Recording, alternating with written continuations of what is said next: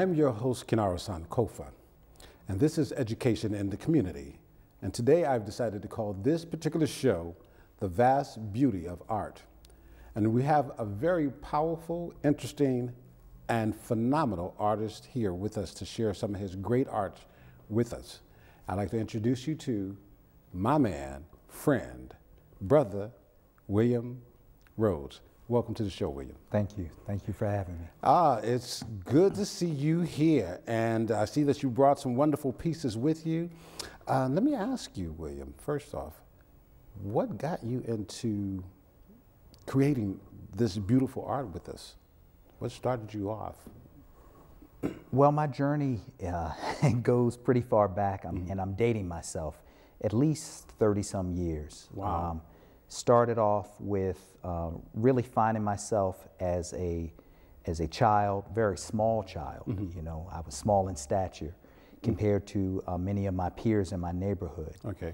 and uh, I would I was interested in playing sports, but because I was so small, I was like the run in some Right, ways, right, being pushed right. around and having a very difficult time to keep up with the bigger kids. Mm-hmm.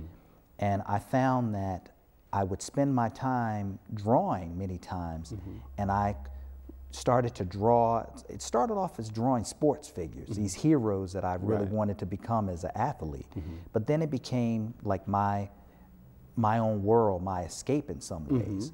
And I spent hours just drawing and just, you know, finding myself just be, be falling in love with the whole process of creating art, creating these characters, and just, you know. So when did you, how, how old were you at this time? Do you remember when you, did you grow in love with this art or did it grow on you? Um, so what age do you recall going back into the artistic side of yourself?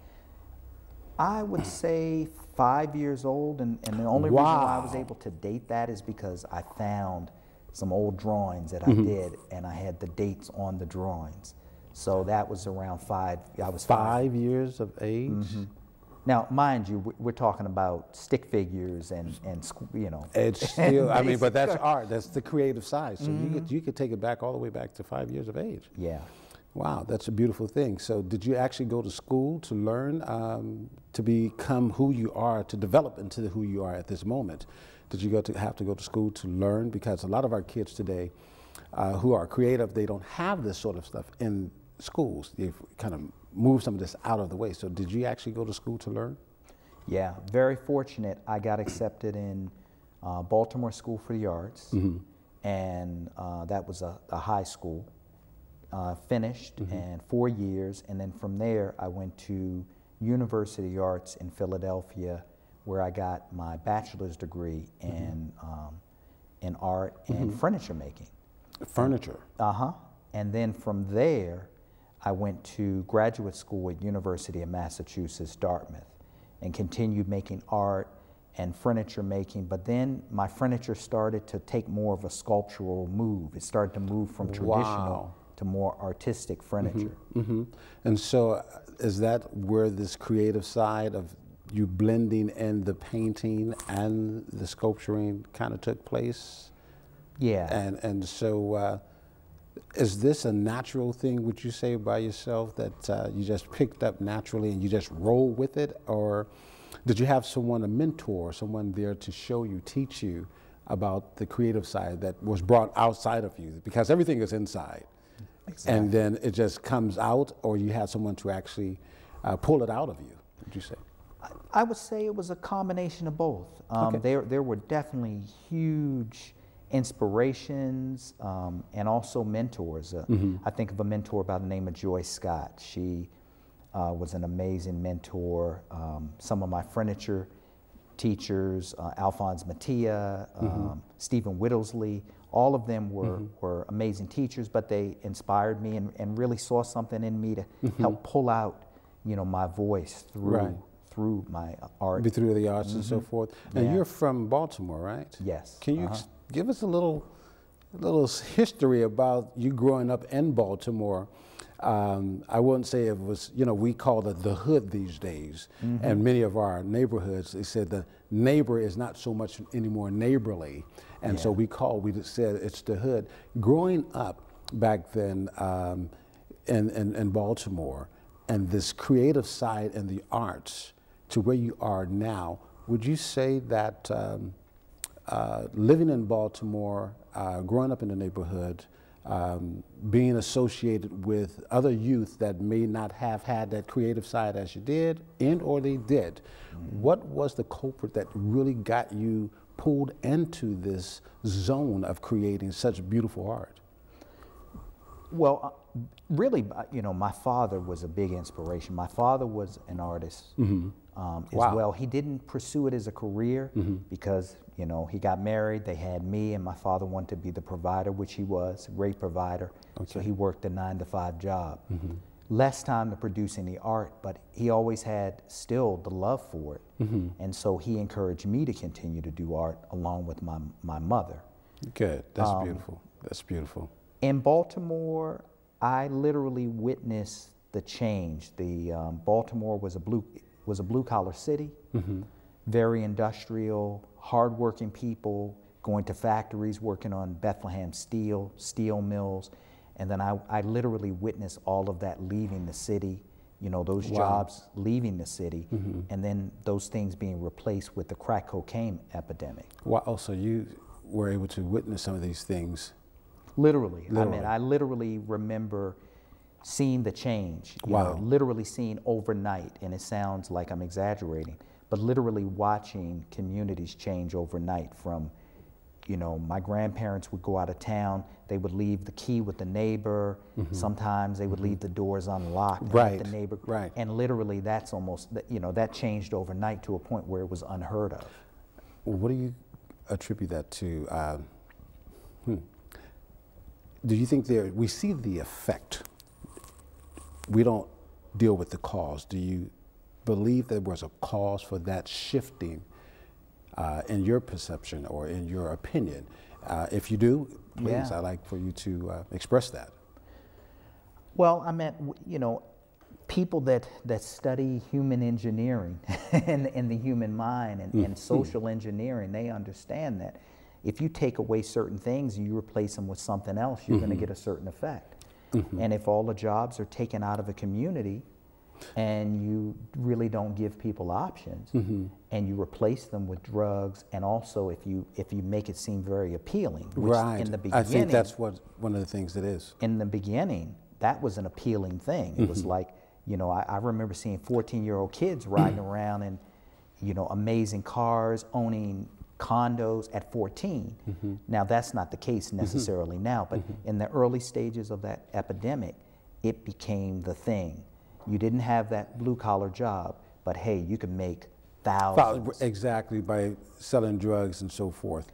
Yeah. Uh, and another thing that I noticed is, uh, we were talking about the arts, is they pulled the arts they crafts yeah. out of the schools. I remember going you know, the school here at Castlemont High, just, just one of them.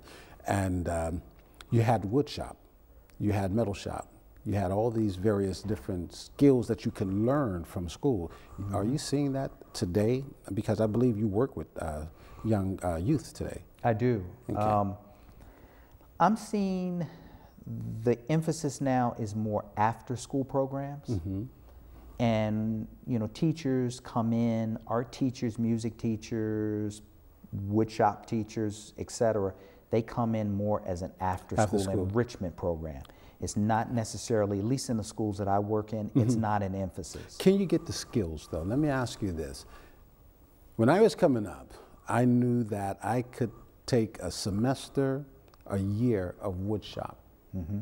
okay you're prepared well to go out into the world and be a carpenter or electrician. Mm-hmm. With the after school that you're talking about, because it's what, probably from three to six, something of that nature, mm-hmm. I think a mm-hmm. lot of the after school mm-hmm. programs. True. Can you get a lot out of the after school programs as much as what you were getting? No, you, you wouldn't get as much. Um, number one, a lot of schools, it's difficult for them to find spaces for people. So you know, say a wood shop, you need a dedicated space. Mm-hmm. Um, and that's difficult in some schools. And many times you're coming into the school bringing your materials, bringing the arts. So you need a place. You may actually have to work in a cafeteria. You may have to work in a room that a teacher will say, okay, it's okay to use, use this room for this particular Yeah. day and time set, but then you have to move back into a regular classroom sort of a setting. Yeah.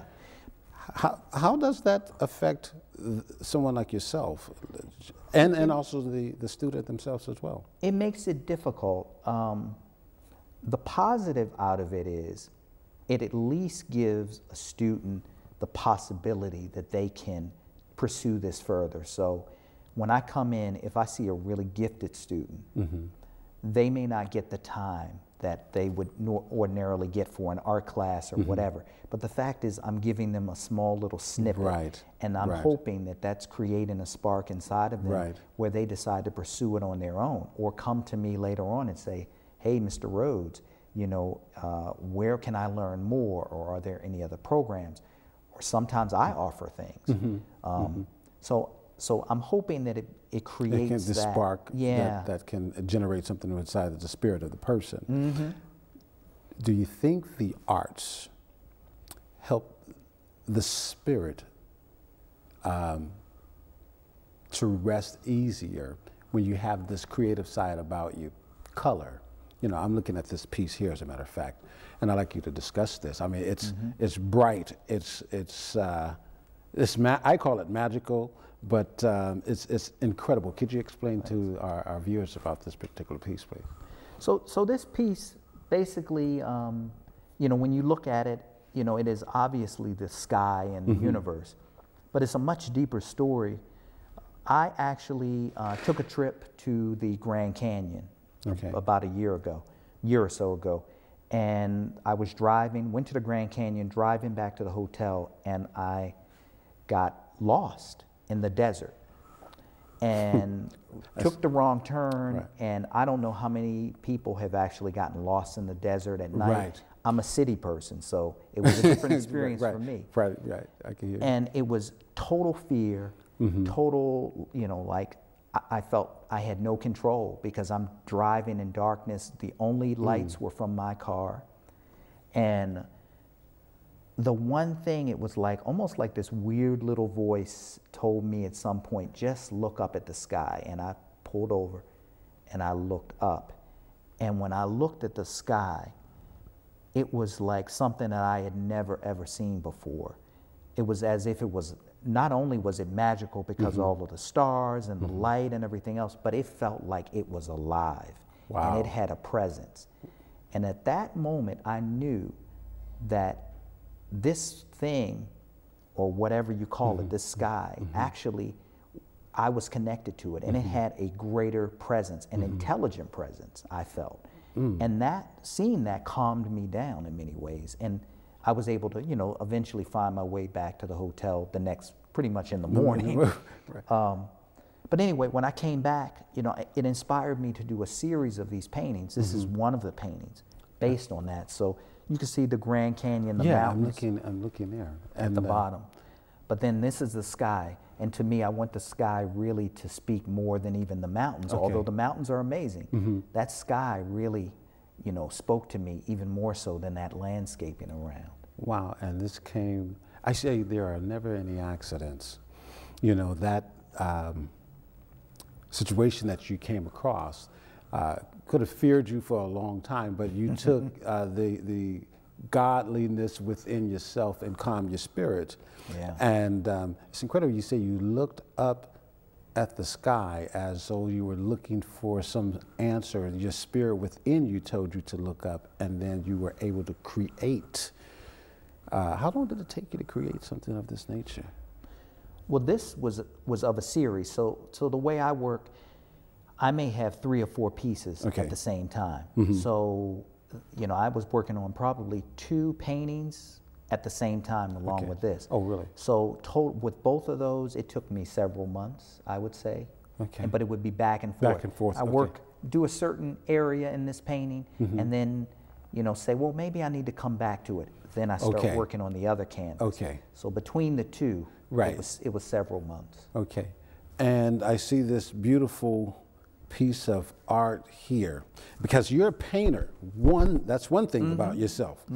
Okay. But then you flip the script and you come back uh, because I remember you said earlier that uh, you did uh, uh, furniture making. Yes. Okay, th- this is furniture, but I typically see furniture because my background is, mind you, is in office furniture, and this is furniture. Yes. Please explain that piece there uh, to our audience because that is incredible.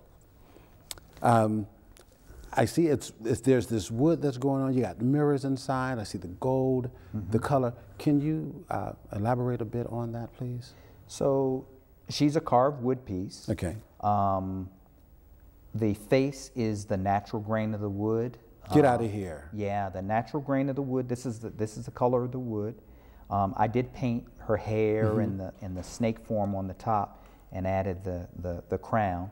Okay. But uh, she's she could be considered a, a mini cabinet because there is a small niche which is cut on the inside at, at below, which Uh-huh. has a label of God.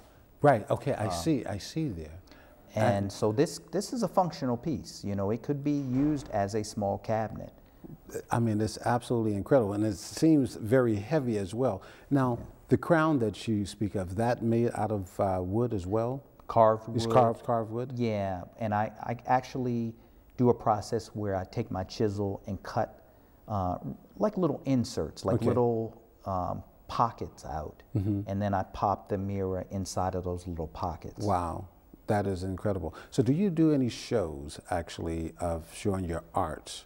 Um, because uh, I, I'm positively sure, with the beauty of such art that you are creating here, that um, you don't just have it sitting at home. So, what do you do? You travel around um, the city. Uh, you're based here, uh, I believe, in San Francisco. Are you not? Yes, I'm in San okay. Francisco. So, do you travel with any of your art? Do you do any art gallery shows? I do. Um, recently, I was, I'm a part of a collective. I'm a co-founder of an African American art collective called 3.9. And we did a huge exhibition, which was amazing, at uh, University of San Francisco in the Thacher Gallery. Okay. Uh, that exhibition just ended, but personally, I, um, I do shows all over the country. I uh, was blessed to be invited to be in the um, Memphis, Tennessee Museum, which Get is called the Metal Museum uh, in Memphis, Tennessee. Congratulations. Um, have exhibitions in Atlanta. I've shown sh- shows, numerous shows in New York, Chicago, um, really everywhere. I'm Okay. working on an exhibition